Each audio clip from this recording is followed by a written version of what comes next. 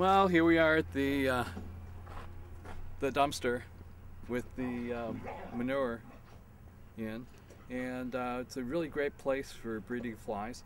So, uh, do we throw in some fly parasites?